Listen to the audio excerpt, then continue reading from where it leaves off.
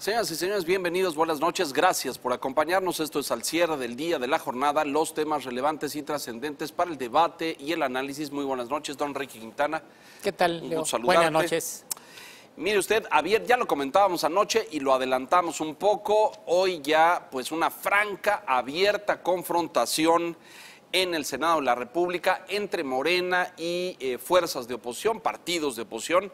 El día de ayer comentamos que senadores de oposición del PRI, del PAN, del PRD, de Movimiento Ciudadano presentaron ante la Suprema Corte de Justicia de la Nación una acción de inconstitucionalidad por eh, en contra de la ley de remuneraciones a servidores públicos. Bueno, pues el día de hoy, a nombre del Senado, el grupo de Morena, eh, mayoritario por cierto, y sus aliados del PES y del PT, presentaron otra acción de inconstitucionalidad para suspender eh, pues la anterior, la que ayer había presentado los de oposición. Esto pues ha provocado un, un debate ahí, una confrontación seria, porque bueno, se quejan el PRI y el PRD de que no fueron consultados. Y pues el Monreal, coordinador de Morena, les dijo, pues ustedes tampoco nos consultaron a nosotros cuando fueron a presentar su acción. La gran diferencia técnica aquí, Enrique, es que pues la, la, de hoy se presentó a nombre del Senado de la República, la de ayer solamente a nombre de unos grupos de oposición. Habrá que ver qué define la Corte, porque normalmente cuando hay este tipo de acciones de inconstitucionalidad, eh, las, eh, les da entrada o no el ministro en turno. Es decir, no es que se haya elegido Alberto Ah, Pérez claro, claro. por X o Y circunstancia, pues le tocaba, estaba en la fila y le cayó, digamos. Sí, exacto. Y él, con su criterio, Evalúa estableció esa acción de inconstitucionalidad y decretó La, la suspensión de la, la ley. suspensión de la ley en lo que se discute el fondo, que también es algo que hay que subrayar. No se trata de que la ley haya quedado cancelada, E- Exacto. está suspendida solamente en el lapso en el cual los ministros discuten el fondo de esta legislación. Bueno, lo que pide Ricardo Monreal es que no sea un ministro, sino que sea el Pleno de la Corte quien defina lo que va a ocurrir con la ley de, de salarios. O sea, no, no quiere que sea un solo ministro el que asuma la responsabilidad de dejar viva o Claro. suspender O sea, la, la Es- legislación. Es, como, que- o que sea un solo criterio el que eh, eh, prevalezca sobre este tema, sino que sea el conjunto de la, la, Corte. colectividad. Eh, en teoría, la Corte tendría un periodo perentorio para, para responder, pero pues el problema es que como en muchos otros ámbitos, la Corte se va de vacaciones. Es decir, no hay actividad del Pleno, no, Ahora no se ven los asuntos claro, claro. eh, desde finales de la próxima semana, por ahí del día 20. Ahí está, justamente es, es Martí Batres, es el líder Ajá. del Senado, en su calidad de representante de ese poder. Que es de espaldas, pero no, no alcanzo a ver. Creo que no es Martí Batres. No, no, quien No, está no era. saludando a Luis María Aguilar son, son eh, otros ministro, personajes. pues. Bueno, de hecho está entre- haciendo entrega de reconocimientos ahí. Pero sí, tienes toda la razón. Ahora, el tema es que de facto, por los tiempos y el calendario, pues lo que va a suceder es que la ley de remuneraciones a, a servidores públicos va a quedar suspendida en lo que los ministros indica. regresan en enero. ¿no? Todo indica que se va a ir hasta el mes de enero. Y, y esto le mete un problema técnico al tema del presupuesto, que debe presentarse a más tardar el próximo sábado, porque tomando en cuenta la vigencia de la ley de remuneraciones, se establecía una franja donde los altos mandos del servicio público pues ajustaban sus salarios a lo que el- el, es- el- la Cámara de Diputados iba a dictaminar Claro. en el envío del presupuesto, que es los montos que el presidente de la República, secretarios, subsecretarios, etcétera, eh, y el Poder Judicial y los órganos autónomos eh, perciben. Ahora queda la duda, lo, lo discutíamos ayer, de si el alcance de la suspensión es eh, incluyendo los eh, órganos autónomos Claro. y el Poder Ejecutivo. Hay quien dice que no, que la suspensión Solamente abarca eh, va a corresponder al Poder Judicial, que es el protegido por el artículo 94, del cual referíamos no a los órganos autónomos. Ni a órganos autónomos ni al Poder Ejecutivo. Entonces, eh, pues va a haber por lo menos confusión, revuelo, porque no pinta, Leo, que esto se vaya a A resolver resolver pronto, ¿no? antes de, de que se presente el presupuesto. Estamos Y- a tres días. ¿Y el legislativo ahí dónde queda? El legislativo se vota a sí mismo en su reglamento interno bajarse los, la, la- la dieta. No solo para ellos, para todo el Ejecutivo. Claro. Para todo el Ejecutivo, porque lo discutíamos ayer. En Para real- todo el legislativo. el Ejecutivo incluso. Ajá, exacto. El legislativo y el ejecutivo. Ejecutivo, exacto. Es decir, todas las eh, empresas gobierno, públicas, las eh, secretarías, todas las dependencias del gobierno federal. Y, de acuerdo a algunos, también los eh, órganos autónomos, los Sí. entes autónomos. Eh, porque normalmente cada año el legislativo, cuando se aprueba el, El presupuesto, también se aprueban los salarios por puesto. Viene el tabulador, el eh, asignan, presidente claro. tanto, secretario tanto, subsecretario tanto, director general tanto, y así sucesivamente. Entonces, este año tendría que venir en esos mismos términos. Este debate hoy en la mañana, por cierto, provocó en la conferencia de prensa matutina del presidente de la República que hiciera una afirmación señalando que ni que solamente Trump gana arriba de los ministros de la Suprema Corte de Justicia de la Nación. Este dato pues es eh, inexacto, es impreciso. Tú hacías ayer la cuenta con paquetes y bonos y el seguro y todas esas cosas están por ahí de los 5 millones de pesos al año más o menos o cuatro y fracción, dijeron ellos en un comunicado. El señor Trump gana 8 millones de pesos al año. Eh, en pesos, evidentemente, en su equivalencia en dólares, pero eh, bueno, esto dijo hoy en la mañana, pero se ve, se ve que esto va para largo, ¿eh? Sí, no, no hay en apariencia intención de ceder por parte del presidente ni Ni del de- Poder Legislativo, aunque él ya le endosó justo en su conferencia de hoy en la mañana la responsabilidad de la fijación de los salarios al Poder Legislativo. Claro, se lo encarga, claro. que es, que es quien lo hace cada año. El problema es, es que no nos habíamos enfrentado con esta circunstancia de esta condición donde hay una ley suspendida, hay un artículo constitucional que protege al Poder Judicial, El 94, exacto. eh, pero eh, está todo, digamos, en el aire. Sí. Pues vamos a ver cómo se resuelve esto. Ya están estas controversias ahí. eh, vamos a ver a qué, qué ministro les toca y si en efecto ellos toman la decisión de que sea el Pleno el que lo discuta, porque el procedimiento de la Corte, que tiene su complejidad, es que un ministro, y además por, por sala, toma el caso a la sala correspondiente, hace una valoración, eh, hace un dictamen y presenta el proyecto al Pleno pero luego el Pleno vota a partir de la, de la propuesta de uno solo, ¿no es cierto? Sí. Y hay algo más, más allá de los aspectos técnicos del procedimiento jurídico, hay un tema político. Sí, claro. Ya, ya este asunto adquirió esa tonalidad. Es un enfrentamiento, eh, independientemente de las cifras, de si están sobrepagados, no están sobrepagados, en fin. El tema es quién manda aquí. Claro. Otra vez el mismo caso que tuvimos. Son los ministros haciendo uso de la independencia y autonomía del Poder Judicial o es Claro, el claro, presidente de la. República. Está, estamos llegando lamentablemente a ese, ese punto que es Y muy es un delicado. tema, y es un tema eh, Enrique, que vamos a, discutir ahora justamente con una votación que se dio hoy en diputados acerca de la Fiscalía General de la Nación. Déjenos hacer una pausa, regresamos de inmediato.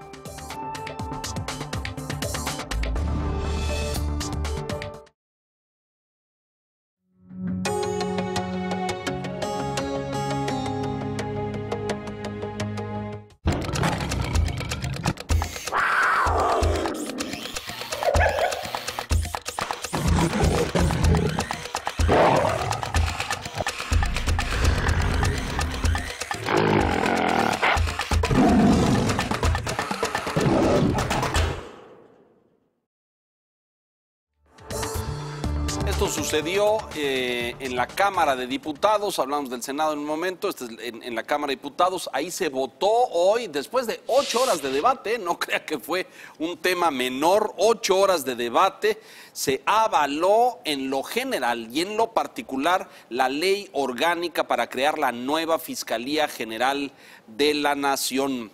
Eh, se discutieron 42 artículos reservados. La votación 296 a favor, 138 en contra. Pero aquí la parte más delicada, más sensible, tiene que ver con lo que, pues muchos en la reforma anterior nos sentíamos muy, eh, pues esperanzados, por lo pronto, de que esta fuera una fiscalía independiente, una fiscalía autónoma.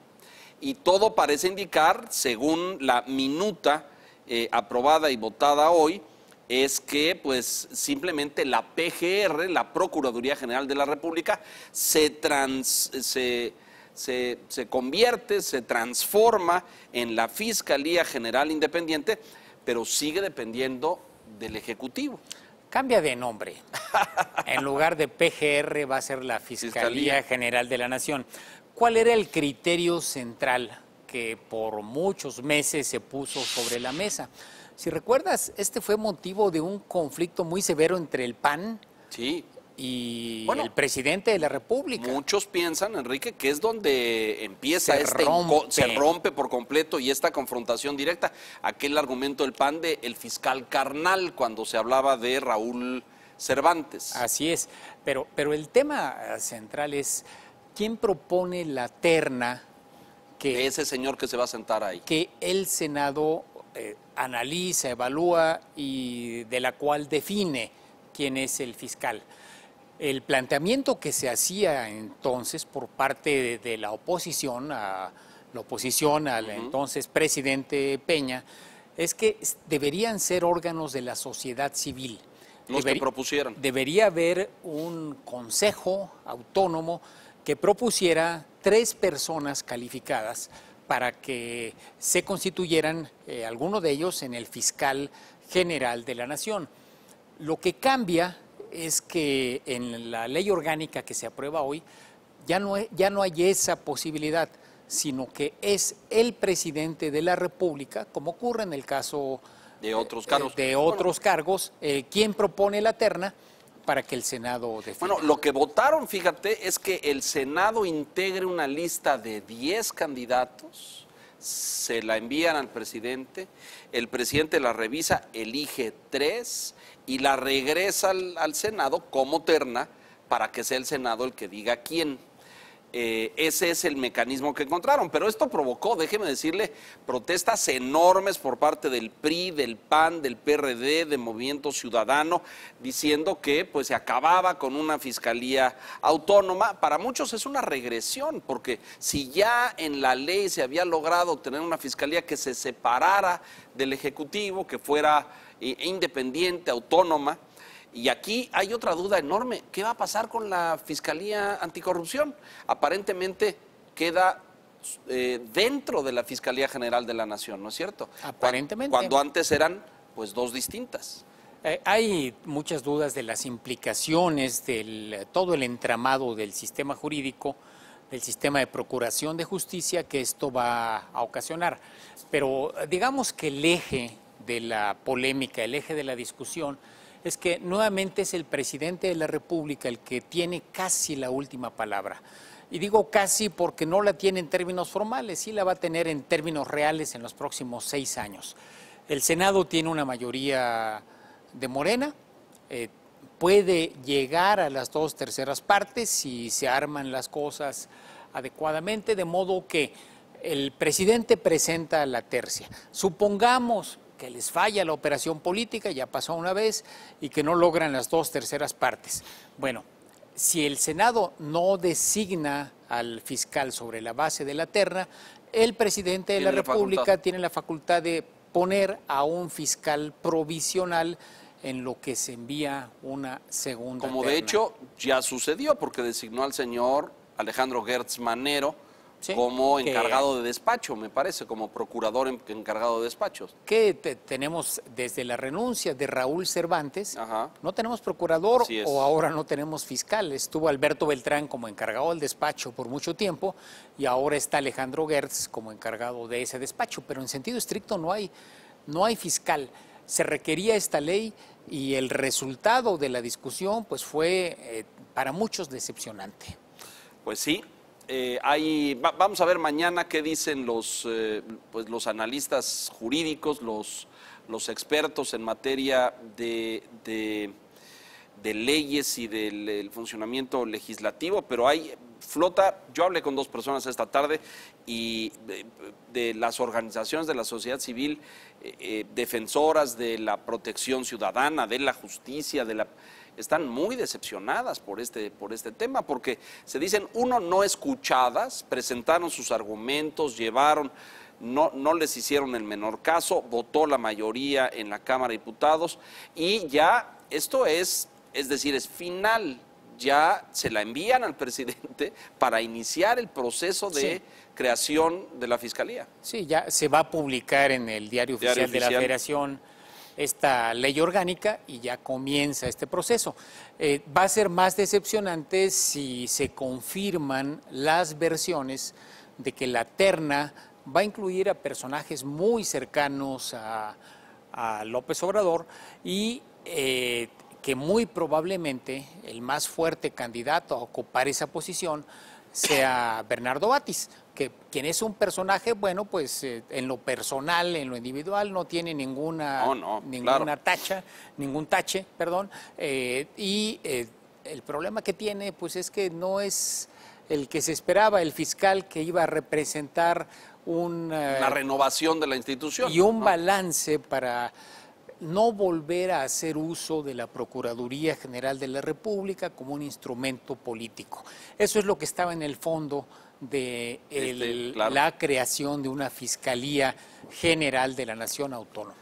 Pues vamos a ver, por lo pronto ya la oposición habla de fiscalía a modo, hablan de que tanto se quejaron de, de que el PRI quería imponer o quiso imponer en los años anteriores un fiscal carnal, cosa por cierto que el PAN y otros partidos de oposición en- entonces, Morena incluido, se negaron tajantemente y hoy, eh, cuando Morena gobierna, pues eh, lo acusan de querer repetir ese, eh, ese mecanismo para tener un fiscal, como dices tú, muy cercano al presidente López Obrador. Vamos a ver qué Fiscal pasa. Carnal Edición 2.0. 2.0, exacto. Fiscal Carnal Reloaded. Déjenos hacer una pausa. Regresamos enseguida con más.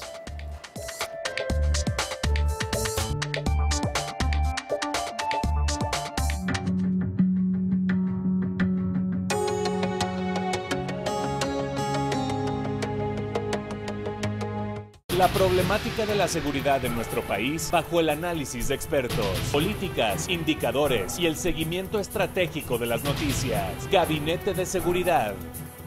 Nuevo horario, jueves 8.30 de la noche. Porque reconoces lo importante, el financiero Bloomberg. Bueno, la Secretaría de Hacienda y Crédito Público eh, presentó una, una mejora, anunció una mejora en este eh, operativo de recompra de los bonos del nuevo aeropuerto internacional de la Ciudad de México, el aeropuerto de Texcoco. Usted sabe, esa obra eh, anunciada como cancelada, aunque en construcción, para no caer en falta con los, con los bonistas internacionales. Esta gráfica que ve usted pantalla es, era el bono a 30 años y cómo pues, se había derrumbado eh, después de la consulta y después del anuncio del nuevo gobierno de no continuar con el proyecto y luego se, eh, pues, se, reevaluó, se revaloró significativamente eh, cuando se da a conocer que van a, que van a comprar estos bonos y esto pues en ánimos de evitar, ¿no? Así estaba este después de casi siete meses prácticamente sin actividad borsal. Esta es la fibra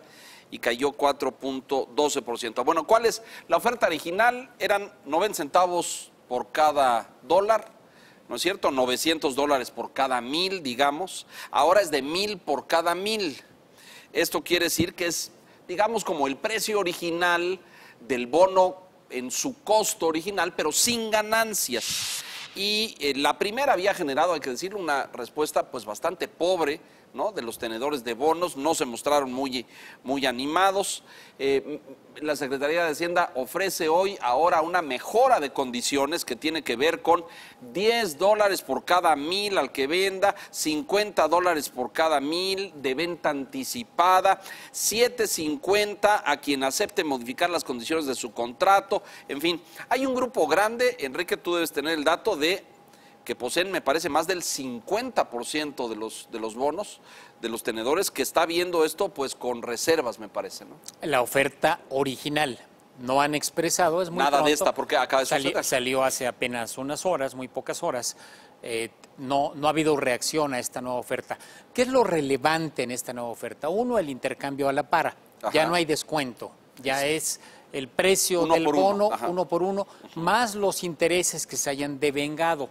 Si se hace la conversión del bono o la recompra ahora y el plazo vencía del trimestre, porque se pagan trimestralmente los intereses, en enero se paga el valor del bono más los intereses acumulados en el, ter- en el cuarto trimestre Del año. del año hasta la fecha de la compra.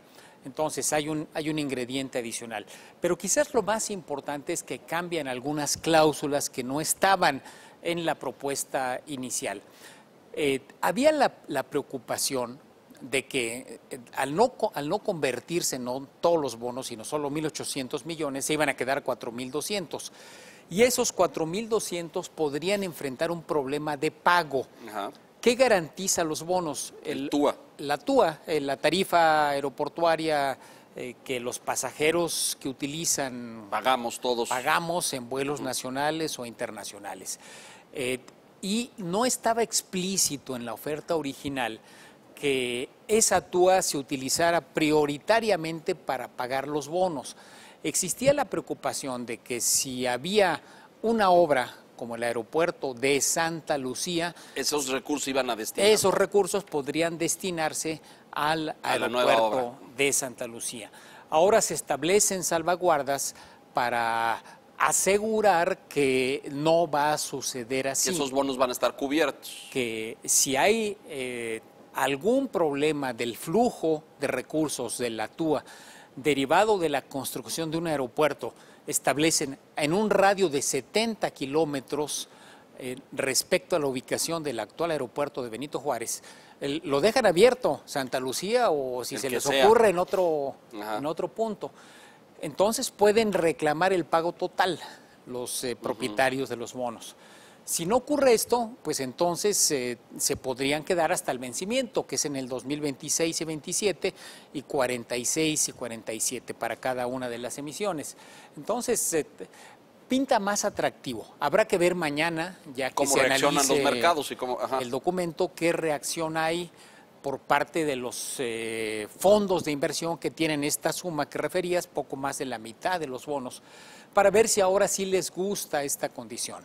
Porque definitivamente se atendieron algunas de las preocupaciones expresadas por los propietarios en los últimos días desde que se conoció la oferta. Ahora, dime una cosa, porque eh, de, de todos modos me parece hay un, hay un daño a la confianza de los inversionistas y los financieros internacionales hacia México. ¿Eso es real o, o no? No, habrá que desde medirlo? luego, desde, luego que sí. Es decir, el hecho mismo de suspender el proyecto y tener que estar haciendo toda esta serie de maniobras para hacer un control de daños, finalmente es lo que se está haciendo, un control de daños y tratar de asegurar a los inversionistas que no se preocupen, que no van a perder, pues implica un problema de confianza. O sea, tú me dijiste que te prestara dinero a través de la emisión de bonos ibas a pagar para construir un aeropuerto en Texcoco. Resulta que tú como país no tienes la seriedad, si le ponemos comillas, de respetar ese acuerdo que hicimos cuando se emitieron los bonos, que era un acuerdo a 10 y a, a 30, 30, años, eh, muy largo plazo. Si no me cambiaste la jugada, pues ya me genera Sí, a- cierta desconfianza. desconfianza. La próxima vez que emitas un bono para un proyecto de A largo si- plazo, vamos a ver eh, quién le entra, porque va a estar es, Sí. ese nivel de confianza. ¿Qué tal si en seis años llega otro gobierno, cancela el tren Maya, cancela la refinería Sí, de pues. Dos Bocas en caso de que se financien con colocaciones de bonos. Eh, ya, ya se produjo un golpe a la Si confianza. hay un daño, hay, hay un daño serio en esto. eh, hay que decir, y es importante subrayarlo, eh, de continuar Texcoco, de haber continuado Texcoco, eso se iba a pagar a estos plazos que ha señalado a 10 y a 30 años con la operación del propio aeropuerto y con lo que dejara. Ahora, esto, el, el pagar los bonos y el liquidar los bonos, pues lo vamos a pagar todos los mexicanos. No, no del todo en la Ah, primera. porque el fideicomiso tiene. Porque hay ahí. un fideicomiso. Exacto. Eh, la duda es que ya, eh, por lo pronto, para esta recompra, la duda es si los intereses en los próximos veintitantos años eh, tendrán un sustento porque ya no tendremos el crecimiento de operaciones aéreas Claro, el aeropuerto claro. por las propias restricciones del aeropuerto Pues sí. como lo íbamos a tener en Texcoco. Por cierto, eh, también modificaron el plazo, se vencía el, el 1 de enero, 2 de enero, lo corrieron hasta el 4 de enero, la recompra, y el, al 19 de diciembre el adelantado. Vamos a ver El qué... consentimiento. el consentimiento. Vamos a ver Así cómo- es. cómo cómo responden. las Bueno, cosas. Enrique, gracias, buenas noches. Buenas noches. Y gracias a usted por la gentileza de su atención. No se despegue la cuarta transformación con María Scherer. Buenas noches.